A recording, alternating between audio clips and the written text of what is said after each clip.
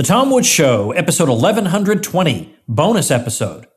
Prepare to set fire to the index card of allowable opinion. Your daily dose of liberty education starts here. The Tom Woods Show. Hi, everybody. Tom Woods here. I have been a guest on several different podcasts lately, and I thought I would share one of them with you in case you'd like to hear it. And because it's a business related podcast, I thought I would make this into a bonus episode. I've done several of these lately. I did, even though I'm not a musician, I did Musicpreneur, which is a neat podcast hosted by our friend James Newcomb, who's been a guest on this show. I was on again on this time on the Nathan Frazier show with Nathan Frazier. We talked about business stuff. And then finally, I was just on, and this is the episode I'm playing for you, the Six Figure Grind podcast, which you can check out at sixfiguregrind.com, hosted by Kevin Geary, who's been very successful in his own right in the fitness and nutrition realm. And we had a very good conversation, I think, very interesting. And we kind of went behind the scenes of what it is that I'm doing here.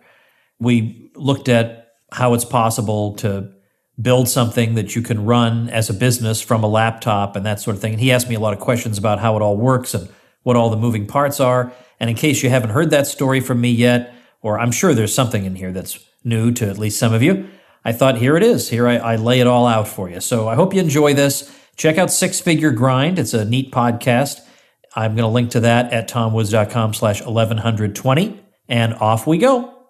All right, welcome back, Grinders. Today I have a very special guest. His name is Tom Woods. He is a successful entrepreneur. He runs tomwoods.com and happyearner.com. He's authored 12 books and is a New York Times bestselling author. He's the host of two very successful podcasts, The Tom Woods Show and Contra Krugman. And he's, he's just been a real big inspiration for me, both in terms of business and in terms of advocating for liberty and free market economics. I can't recommend his work enough. Welcome to the show, Tom. Thank you, Kevin. So, when did you become an entrepreneur? Like, when did all of this start for you? 2010, I left a regular salary and went off on my own for family reasons. We just we weren't happy where we were living. We moved somewhere else, but in moving somewhere else, I wouldn't have the regular salary. So I'd have to do a lot of public speaking, which is what I did. And I traveled all around the country like a nut in order to earn enough money to support what at that time was four children and later became five. But it just was no way to live. I just couldn't keep up that kind of pace. And it never dawned on me to actually create something. I just I was still in the mentality of you sit by the phone and you wait till somebody calls because they need you for something. You don't proactively do something or create something or market something. And then somebody I know well who's very smart when it comes to marketing said, You've built up a brand for yourself over the years. I mean, I had uh, New York Times best-selling books. I had a substantial following. I had a lot of views on YouTube. Why don't you monetize that? Why don't you do something with that? Why don't you? And and my my response was, well, I used the Amazon affiliate program on my website. like that was how I was monetizing it, you know, enough to earn lunch every day. And the guy just put his head in his hands, like, I can't believe I'm dealing with this guy. And he said, Think about what it is you offer to people that they like. And one of the things they liked was that I have a somewhat unconventional take on U.S. history. I think the way you learn it in the typical fifth grade textbook is just a crime. It's just it's just shocking. It's propaganda. So I, you know, I, I smack down stuff like that. I, I can create courses in which I teach it the way I think it ought to be taught, or economics or related fields. And he said, Why don't you do that? Create things like that that people like and market that. So I opened libertyclassroom.com in 2012. And it was me and other PhD folks that I trust. And that's how we marketed it as the history and economics they didn't teach you. And that has been just phenomenally successful, even though with most things that you want to market, there's a, there's a pain point that you're trying to address. Right. You know, let's say I can't make money online, so you have a pain point. That's a pain point. You address it.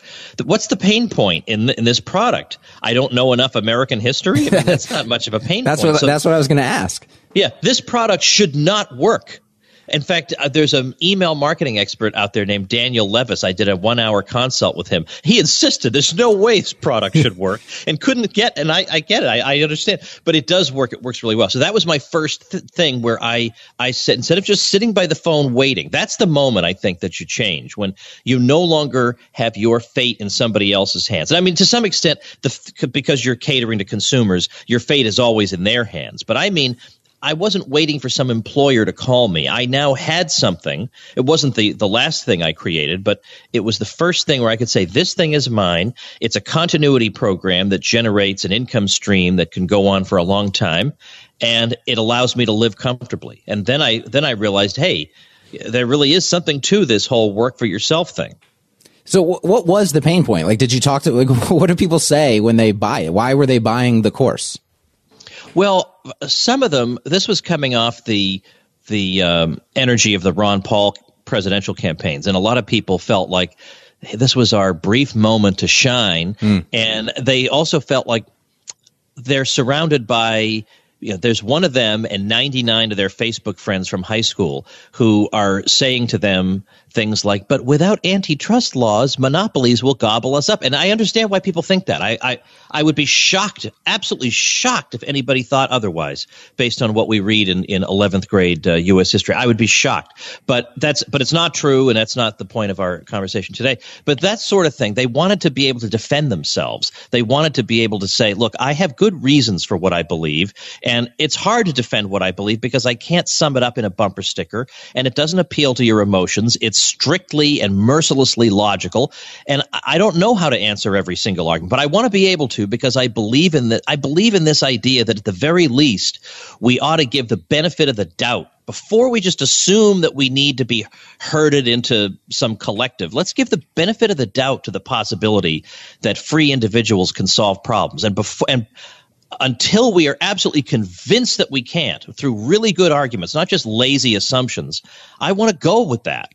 And so it's hard to defend that position because you're not trained to believe that in school. And so I'm giving them that ability to be able to st- stand up in a crowd and knock everybody down in a nice way. I mean, I'm not trying to humiliate people, but they've seen me in videos or, or other faculty members. They've, they've seen us take on multiple people at once with objections and answer them in ways that you know even even impress the people asking the questions and they say well i want to be a superstar like that that's fascinating. So uh, you're thinking about building this course. People are telling you uh, this this is not going to work, Tom. Uh, don't don't like touch this with a ten foot pole. Uh, what? How did you just break through that noise and say ah, I'm going to do it anyway? Was it just there wasn't any other ideas? Well, first of all, it, it, was my own ignorance helped here because it was only later that people had the guts to tell me they okay. didn't think it was going to work. You know, it's sort of like the person who goes on American Idol who's a terrible singer, but his friends not one of them they're all saying to each other Are you're going to tell them and, and not one of them does. And then on, on american idol it gets exposed how terrible he is. Well i had a, something like that except in my case figuratively speaking american idol worked out. it worked out. You had auto tune or something. It's all right. Right right. All right, cool. Um, so one thing I wanted to ask you about because um, this is uh, it's it's really inspiring to me on one level, but on another level, it irks me a little bit. It's the fact that you make like online business looks so easy. You make it kind of feel effortless. Is is that what's really happening behind the scenes? Oh my gosh, I worked so hard on that product. First of all, that was just killer to to create. There's more than you think there's going to be with something like that. Like creating a membership site, it's annoying. Yeah, there's a there's a learning curve, but the the nice thing is it's a lot of upfront work. It's like a podcast, for example. Um, the podcast has a lot of upfront work. Like you got to you got to come up with you know a little graphic icon, just things you wouldn't even think of. You, mm-hmm. you, know you have to you have to learn how to record on two. I like to record on two separate tracks. You got to figure out which microphone to use and how to set it up, and you don't even know what a boom arm is. And so there's a lot at the beginning.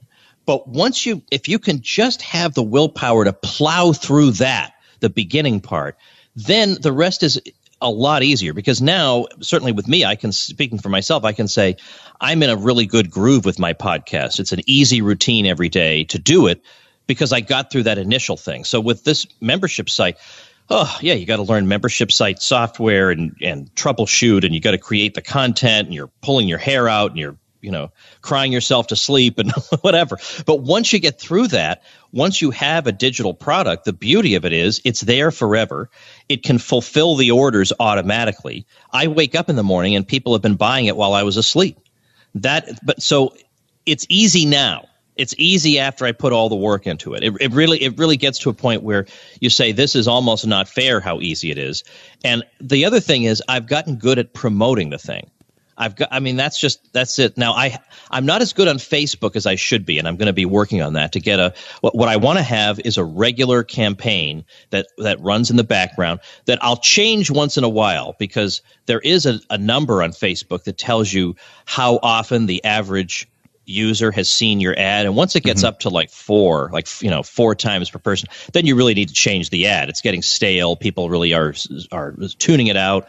But the idea there with facebook would be you you use facebook you you you uh, pinpoint your audience and you start bringing in leads every single day to your free course that then leads to an email autoresponder series that that leads them to sign up for the whole thing. And and that's that's a way to just keep it going in the background. But the thing that I've gotten good at to promote it though is not so much trying to draw new people from the outside, but taking my current audience who are already convinced that I have something to say that they want to listen to and saying, all right, look, this is my flagship thing. I mean, you, you think you like my free content. Till you see this thing. And I've built up an email list that I every year appeal to at Black Friday weekend time. Mm-hmm. And I've got an email sequence that, well, I, in fact, this year, I would say I probably reused 75% of the emails from the previous year. And, and I just ran them through just to see are they still going to work? Exactly the same emails that I sent to promote this thing the previous year. Will they work? And I had a six figure result, and all I had to do was send some emails over the over that weekend, and they were emails I wrote. That you had already written. Year. Yeah, yeah, insane. Because it turns out most people have lives, and they are not carefully studying your emails from a year ago. They they're all fresh to them. And you so, have a bunch now, of new people on your list since last year too. Yeah, that's right. So that helps. So so now this year I'm going to do all fresh emails. I just can't bring myself to do it three years in a row. But the point is, if you know what you're doing with email, that really is the thing. The problem is most people make two mistakes with email. One, they don't email often enough because they're afraid people will unsubscribe. People will unsubscribe.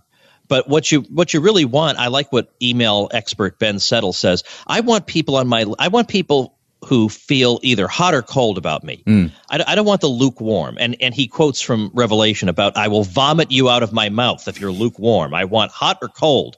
And this way I get people who are only just hot for what I have to sell, what I have to say, who look forward to my emails every day. So that's the mis- first mistake is thinking you shouldn't email. The more you email, the more money you make. That that is just that's an absolute fact. The more you the more money you make. But the second thing is it depends on how you email. If all you email is, you know, subject line 50% off today, no one opens that and if your whole message is, I have this great, awesome thing, you're going to love it, it's 50% off, that just doesn't work. You'll get open rates of 1.3%, and that's going to be it. So you, you got to figure out a way that entices them to open. There's got to be something oddball in it, or off the wall, or interesting, yes, or or a story, or something that compels them to open, and then you transition into your pitch the same way talk radio has a pitch. I mean, you, you talk radio, you enjoy it for uh, 20 minutes, and then they go to a commercial, and you don't say, How dare they go to a commercial? You say, Well, they got to keep the lights on. So no one's going to. Nobody you would actually want on your list is going to mind that you have a pitch in your email, but that's what you do. It's what Ben Settle teaches: infotainment. Yes, you get a little info or a little story or some some kind of thing, or it's just some tidbit or something, and then you transition. That it's that all important transition into your product. Absolutely. Yeah. It, t- it took me so long to figure that part of it out that, that you have to be an entertainer first. Like you can have all the great information in the world, but if you just dump information on people, it's not going to work out. People want to be entertained. And so like one of the uh, analogies I've used is I've told people to be the, the magic school bus, like of their industry, right? Where you have this cartoon that is highly entertaining. It's entertainment first, but it slips in like education and information into it and it, it, captivates you know the kids who are their audience but um, it's it's the, the, be entertaining first is the probably the biggest lesson that I missed for years and years and years. I was like, oh, people just want they just want great information. They want great content. Well, most of what great content is is the entertainment piece. That's what really makes something great content. Yeah, exactly right. And especially when there are there's so much competition in that inbox, right? There's so much stuff coming in, and you've got to make sure that yours gets read. Now it's hard. I mean, uh, you, you, Ben also says not to obsess over open rates, obsess over sales.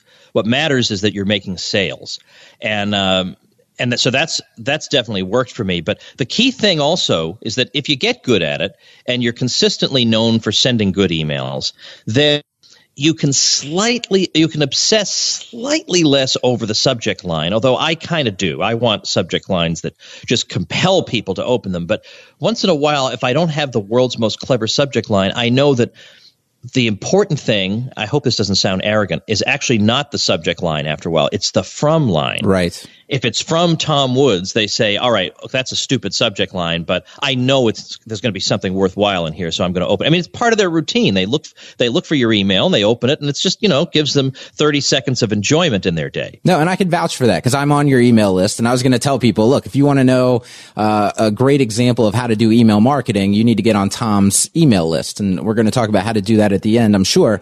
But first, like you've, that's exactly happened to me. Emails from you have shown up and sometimes I don't even read the subject line. As soon as I see it's from Tom, I just open it and I read it because I also know that it's not, it's going to be quick you know, and it's going to be entertaining. It's not going to take a lot of my time. So there's not right. a huge barrier to, you know, like some, sometimes, and when I talk about email frequency and people ask me how long should your emails be, I kind of feel like the more often you email, kind of go the shorter route because if you go with really long form email, like uh, Ramit Sethi uh, does really long emails a lot of times, and if you did that every day, it it kind of would become a burden for people. Like even though it's interesting and useful, it's like man, that's going to take a lot of time. Maybe I'll just wait. Right, people will put it off, and then they'll end up not opening it. And you know the thing is, I follow two people who have completely different styles when it comes to email and they're both extremely successful. So it, it does matter. It depends on your personality. But I already mentioned Ben Settle, and he'll have an email like about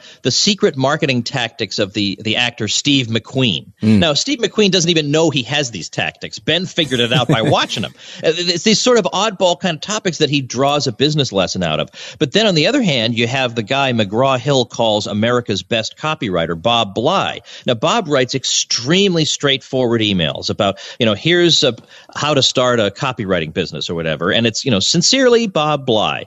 Totally straightforward, but I have to open his emails too because there's something valuable in there. The key thing is just feeling like there's something valuable in what somebody has to say. And you, you want to get to that point.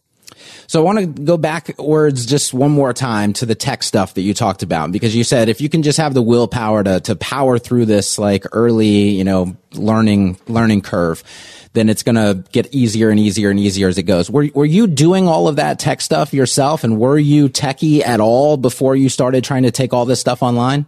Yes to the first question, no to the second. I was doing it on my own. I was figuring out audio editing and stuff like that. And the thing is, when I launched the podcast, I was in the middle of the most harrowing project I've ever done. So even though I knew I had some audio stuff to work on, I literally had no time to, to do it. And now, and, and the thing is, I didn't outsource stuff at that time just because I felt like I didn't have the money. Now, I did, I think, but I can understand. I'm not going to reproach myself for that because at the time, I, I didn't know that this was going to be a go, and maybe this would be throwing money down a rat hole. I just didn't know if I should do that or not. But now outsourcing has has helped tremendously. But secondly, not even outsourcing on a permanent basis, but just on a trial, on an initial basis, getting somebody to help you get set up to get over that initial hurdle really is worth every penny. So, for instance, right now, I am slowly but surely moving away. I have a PC and a Mac, and I really would like to be podcasting on my Mac because I just enjoy using it more. But the idea of trying to learn new software, figure out how to record on two tracks on a different kind of uh, operating system and everything, I just I, am exhausted even talking to you about it. so I just looked. I, I realized, wait a minute. Here's a guy who does it. He runs a comp- a podcasting company, and he he uses a Mac. And I thought, look, if I paid this guy a hundred bucks to sit down with me for half an hour and set it up, you realize how worth it that is? The aggravation I would avoid, the days and days of experimenting and going through tutorials. I, have gone through my last tutorial. I want some guy to do it for me. It saves me time, saves me uh, aggravation, and I can be doing stuff with that. You know what would have been foregone opportunities the time that I would have spent doing this. I can be doing much more lucrative things. It, it, it's a, it's a hard hurdle to get over because I know that when I used to make a YouTube video, it would take me all afternoon to do the editing and put in the the, the little the website in the corner and all that.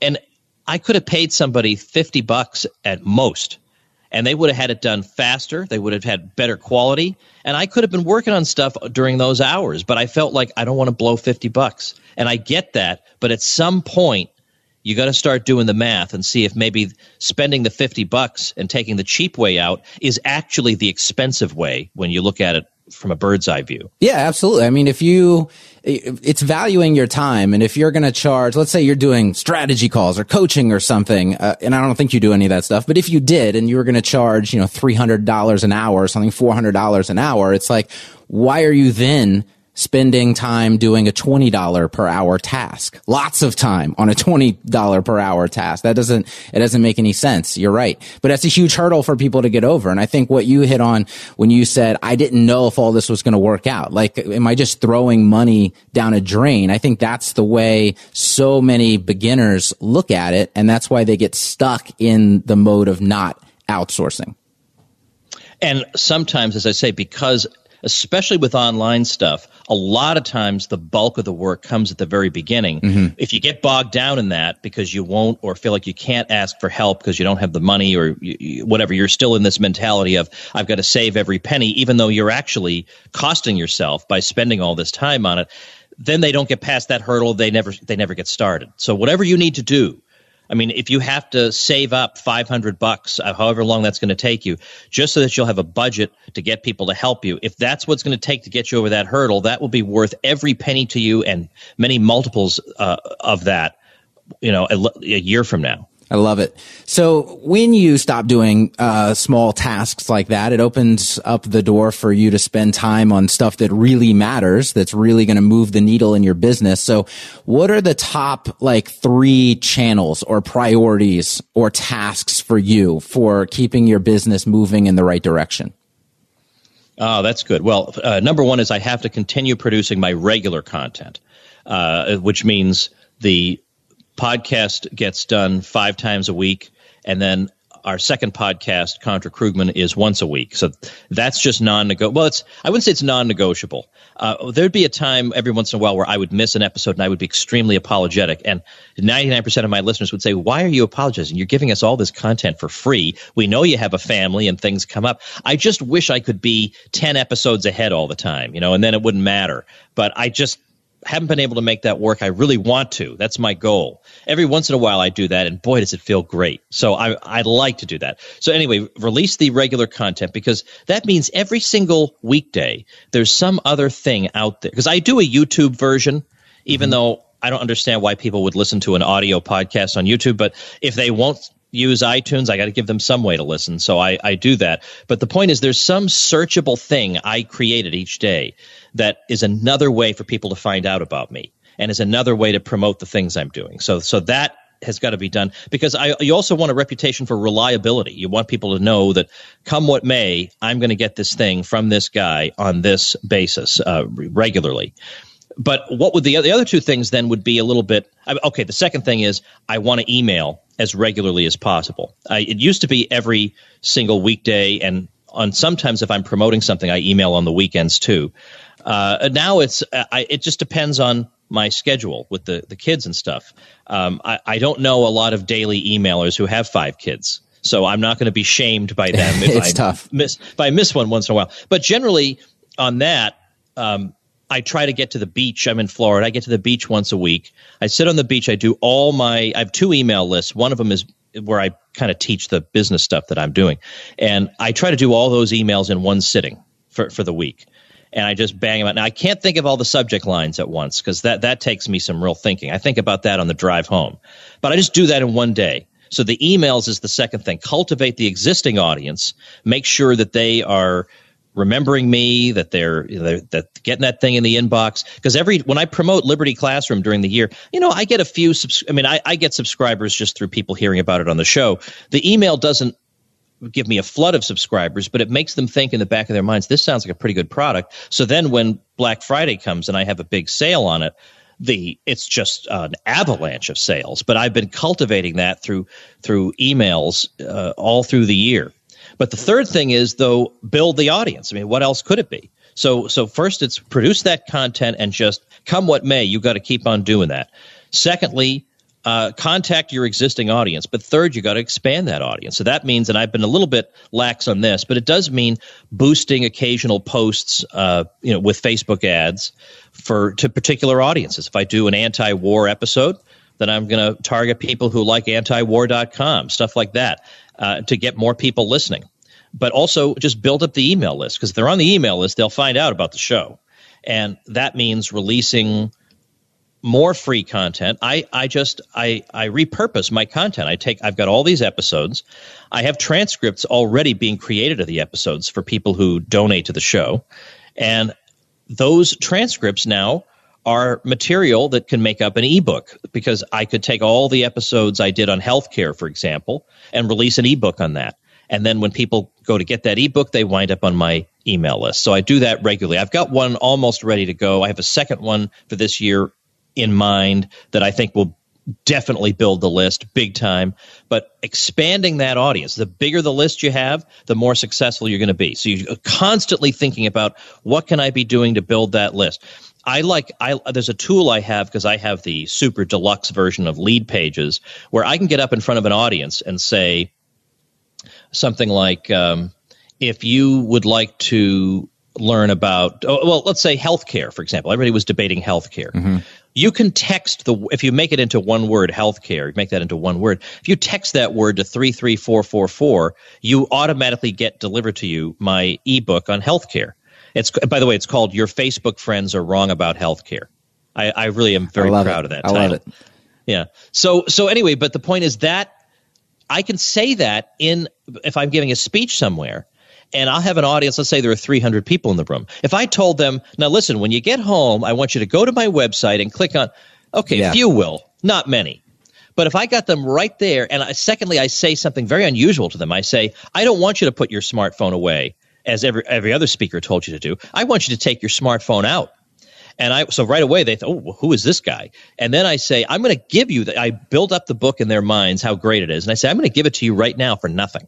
All you got to do is here's what I want you to do while I'm standing here is text the word healthcare as one word to three three four four four, and I watch them do it, and I I will get 150, 200 new leads in just instantly, instantly from just being able to do that. So technology doesn't hurt either. Yeah, it's amazing. And you know, I, I have been to conferences and I don't I can't remember uh, anybody really doing that. I'm surprised people aren't using it more. I hear it all the time on podcasts, but you would think that more and more speakers uh, would have caught on to that by now. Yeah, and, and it because they haven't, it makes me look like some kind of tech wizard. How's he doing that? Oh my gosh, he's and so it, it makes it seem like I'm this phenomenon, you know, with a giant team working with him and all that. And I do have a bit of a team, I suppose, but I think because I've learned all this stuff, it does make me look maybe I don't know bigger than I really am. I don't I don't know.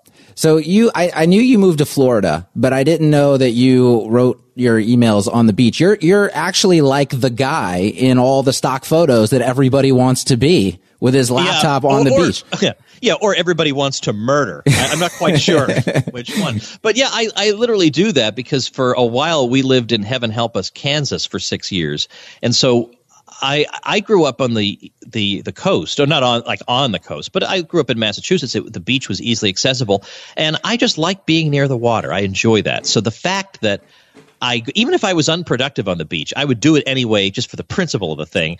But it's incredible to me how, especially I I go to Melbourne Beach in Florida. Now, don't go there because I like it the way it is. It's quiet, nobody bothers me. Okay. I don't understand why nobody goes to Melbourne Beach, or at least on the off season, like because in Florida there almost is no off season. So in September you should still be going to the beach. October you should still be going to the beach. There's almost nobody there, and it's amazing how much I get done. Maybe it's because I realize that the temptation to do nothing here is extremely great. Mm. So I compensate for that. But yeah, I just wanted to be able to say, I'm doing this. I'm living life on my own terms.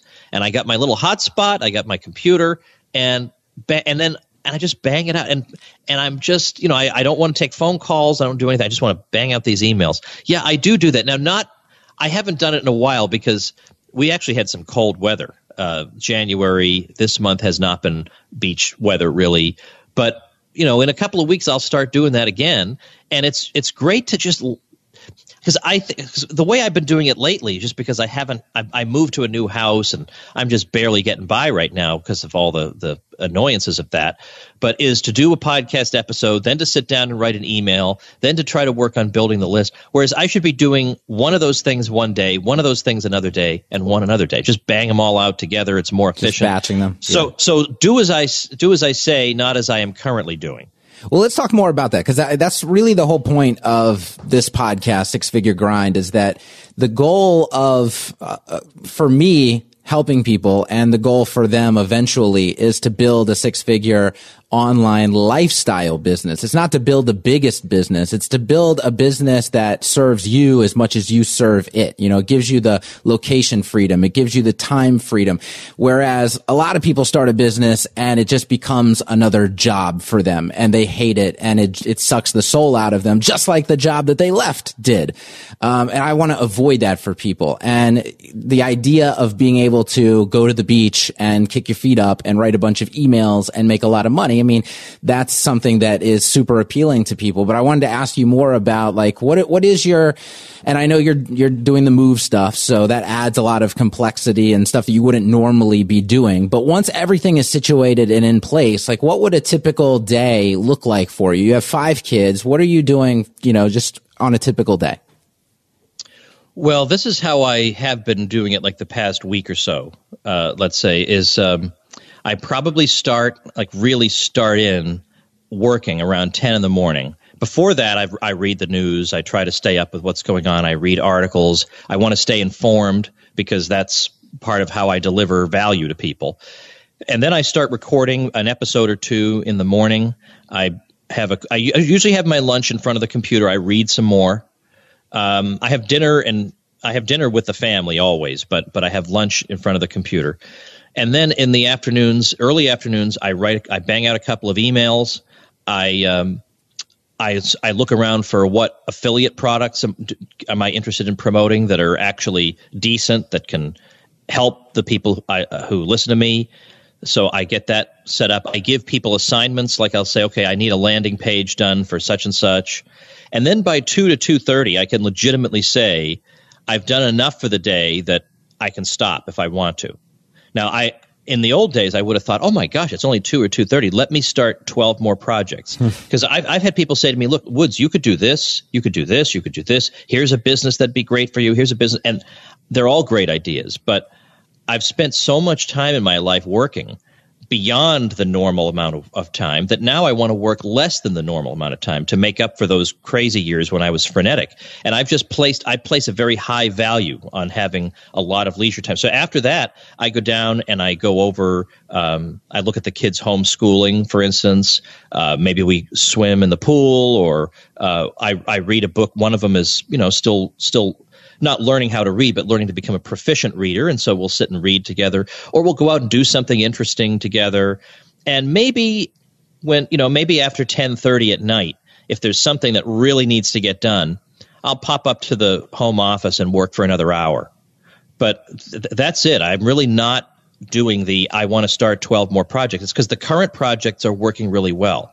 And and what I've done to get to work so little is not that I'm doing less, it's that other people are doing more for me. Mm. And then I focus on building up the audience so that other people can can be doing even more valuable stuff for me because we have a bigger audience to do it for. That's the thing. I've gotten it's taken me a long time, but I've gotten to the point where other people are doing stuff that I don't need to do. I even have somebody who manages my email. I never ever thought I would give the keys to that kingdom to anybody but I've got somebody managing my email who will send me things that are urgent for me to see. Well, I, I read everything that that listeners send in. I read it. Mm-hmm. But but in terms of uh, if it ab- if it does not absolutely require a response from me, it'll get a response from my assistant. And so this way I can keep an eye on what's going on, but not get sucked into I need to send 50 emails every day because I am accessible. If you go to I have a private Facebook group, there are ways of finding me but I just can't answer every single email that comes in because I've decided I'm going to I'm devoting my life to my kids. That that that's what my life's devoted to at this point. If you want to come ask me a question, I got a Facebook group and I'll do my best for you. So that's really it. And and as I say, I've had a major major change in mentality where I have all this extra time, but because the money is really coming in and shows no sign of slowing down, and that's what makes me comfortable then I don't feel the need to open two more businesses. Even though I could, and even though I'd be three times richer, I wouldn't really be richer in, in I know this, boy, this, I sound like a, a lifetime channel movie. I wouldn't be richer in what counts. no, but that's, that's exactly, I mean, that's exactly the message of the show. So that's, that's absolutely perfect. So let's close out with this because I know we're coming up on time. There's a lot of people out there listening who this is still just a dream for them and they hear a lot of stories like this and they probably think, yeah, it'll, it'll happen for Woods. It happens for Kevin. It, it doesn't happen for people like me. Uh, what words of encouragement can you offer them before we close out here? Ah, uh, well, first of all, you are still getting in on the ground floor. Eventually, people are going to realize what a gold mine the internet is. But amazingly, even though they understand that as an intellectual proposition, they haven't really internalized it. They're not acting on it. They're still digging ditches, as this is the expression I use. They're out there uh, with a job like it's 1957, but it's not 1957. It's 2018, and what you need it's it's shocking how little you actually need. What you need is to, to do is three things. Now, okay, it, it can be tricky to get started with the three things, but at least you know what your battle plan is. The three things are you need to find an offer, which means you either need to create something that people would want to buy, which is the hard way, or you find somebody else's offer and you just earn commissions on it. And if you're if you're doing digital products, you can earn 50 to 75% commission. So you find an offer Secondly, you find an audience that would be interested in that offer. And these days, there are tools like crazy to, to match your offer with an audience. I mean, it's there are tools out there marketers of 30 years ago would have s- slit the throats of their own grandmothers to get hold of. So, this, so find an offer, find an audience to pitch that offer to, and then rinse and repeat. And that is it. Now, so that involves building an email list of your own. That's unavoidable. Like people will try to tell you you don't need a list. There are ways you can promote stuff without a list, but you can't scale those ways. Uh, the, there is no substitute for building an email list. So you can find resources online. How do I build an email list? Just type that into Google. You'll have enough reading to last you three years if you want. So, so that, but that is the thing. So it could be golf. It could be it could be fitness, but there are a million people in fitness. You got to find some super duper concentrated niche in fitness. Whatever it is that where you have some passion or you're interested in, or you have some knowledge to share or whatever, or or even you could just pose as Mr. Average Guy who is learning along with his readers about something or you know like uh, uh i've seen uh, good blogs about i'm learning chinese right alongside you so being being mr regular guy is also a perfectly fine persona uh, people would also want to follow but that is what almost everybody I know online does, other than people who have e commerce stores, which is a totally different strategy. That's what they do. So start thinking that way, is what I would say. Awesome. All right. So before we close out, just let everybody know where they can find you. Plug whatever you would like to plug. The the floor is yours. All right. Probably I'm trying to think of the best way to do it. I have two different email lists and I use these tactics. tactics makes it sound like I'm trying to manipulate people. I really am not. I really am trying to deliver people something they like to open and then be able to tell people, look, it has these great results. You know, I want to show you how to do this. I, by the way, I like the idea. I have people who write to me and say, I already own everything you have, right? I have a, there's nothing you have to offer me anymore, but I like your emails because of the information and the entertainment, but also because I feel like I'm learning how to do it. And I, I would not have bragged about this before until I had a really class A copywriter come on board with me for a project we worked on together where we were going to write emails together. And he wrote some emails and they were fine. They were very straightforward emails. And I said, I want your emails to be more like this. And I sent him one of mine. And he wrote back and said, Okay, so you mean you want like master level class A copy all the time? and and I said, Wow, you mean I'm that good? Like I didn't know. I, I, didn't I thought I was okay. But I had this guy say, No, no, you're pretty good at this. So another reason to read them is that it does show how you take entertainment and you sell with it. So the the the one way to do it is I have a page on my site. It's a redirect, tomsfreebooks.com. Get any one of those books. Uh, all but one of them will put you on my libertarian email list. There's another one on that page about how to make a living online and that but it's taken from it's not speculative there's no theory in there it's all taken from exactly what i do whether having a podcast or self-publishing a book or selling products as an affiliate or freelancing all those sorts of things are all covered in there so that book will put you on my entrepreneurship list so if you want to get on both lists get you know get get a libertarian book and get get that one and then you'll be on both of them and, and I think per- personally, I think people should be on both of them. So uh, I'm going to put all of the links to all that stuff in the show notes. Um, that's it. Tom Woods, everybody, thanks for your time today. My pleasure. Thanks so much.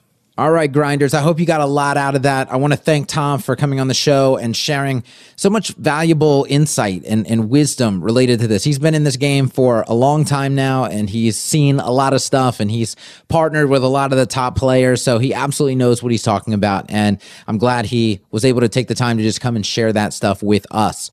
All right, everybody. If you want to join that email list about business ideas and tips and tricks and products and whatever, then the way forward is to get my ebook on five paths to an online income. You can get that at pathstoincome.com. And I think you'll enjoy reading the emails. The idea is that even if I tell you about something that you're not interested in, let's say, uh, you know, something you're not interested in buying, you still you'll enjoy reading it because there'll be something interesting or funny or insightful or whatever. That it'll be 30 seconds out of your day that you open it up and you get some enjoyment out of it. And that's what I'm shooting for with these. So, anyway, check it out at pathstoincome.com, and I'll see you next week. Become a smarter libertarian in just 30 minutes a day. Visit tomwoods.com to subscribe to the show for free, and we'll see you next time.